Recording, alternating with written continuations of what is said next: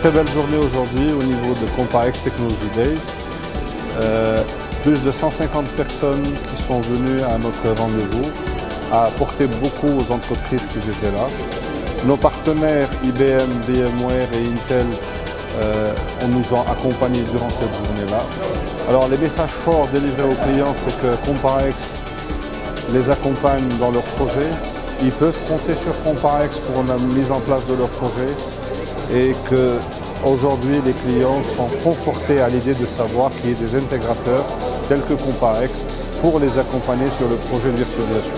Uh, I'm very pleased that I had the opportunity to enjoy this fabulous uh, venue of Comprex in Algeria. I was impressed by the number of customers who attended the meeting. And uh, it was also good to see how much the people are getting involved into the interesting topics of virtualization and cloud computing.